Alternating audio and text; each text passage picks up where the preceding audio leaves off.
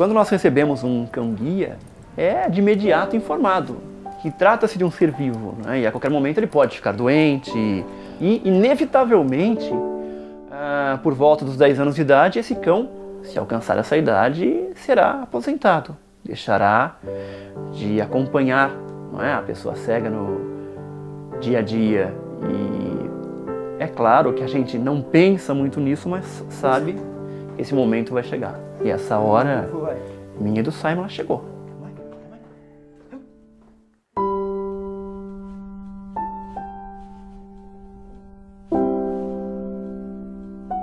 Eu nasci com baixíssima visão e por volta dos 12 anos perdi completamente o pouco que eu enxergava. E durante muitos anos eu utilizei a bengala para o meu ir e vir.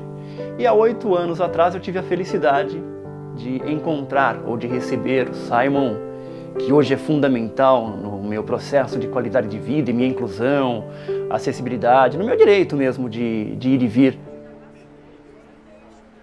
A pessoa cega e o cão guia estabelecem um contato que perpassa a, a, a, questão lógica. Eu diria que com o passar do tempo nós obtemos, nós alcançamos com esses cães uma comunicação e eles conosco quase que telepática. Leva pelo menos um ano para realmente a pessoa com deficiência visual e o cão se adaptarem de uma forma completa, se conhecerem. Né? É um, digamos que, um casamento aí que você tem a fase do conhecimento, da conquista, é algo bem interessante, mas que transforma, que vale a pena. Up, Simon.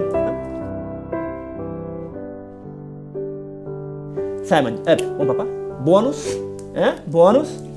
Ok a questão assim fundamental para a aposentadoria do Simon uh, é a questão do cansaço mesmo. Ele está numa idade que ele já dá sinais que tem que parar.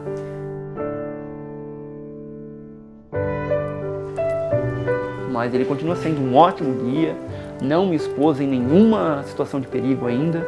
A gente brinca que ele vai meio que desaprender tudo aquilo que ele aprendeu nesses anos de trabalho. Vai realmente relaxar, ficar agora aproveitando esse, esses anos uh, finais de vida, já que a idade média de um labrador, a, a idade, né, a, a, morte normalmente ocorre entre os 12 e 14 anos.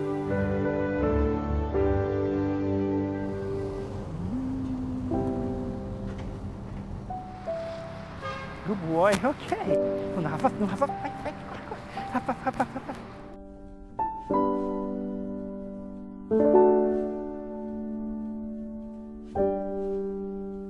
A aposentadoria oficial do Simon é, ocorrerá dia 12 de setembro, uma sexta-feira, que eu viajarei para os Estados Unidos.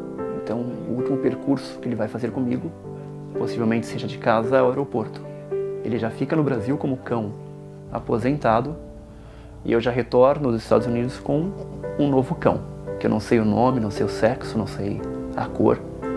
E ao chegar no Brasil com esse novo cão, ah, eu preciso administrar a conquista com esse, em relação a esse cão novo, né, esse novo amigo, e a gratidão em relação ao Simon. E administrar também um possível ciúme que eventualmente role, aconteça do Simon em relação ao cão que virá ou do cão, desse novo cão em relação ao Simon. Então é uma fase que certamente demandará de, de muita atenção para com ambos e, e de muito equilíbrio mesmo. Eu acho que a palavra-chave né, é equilíbrio.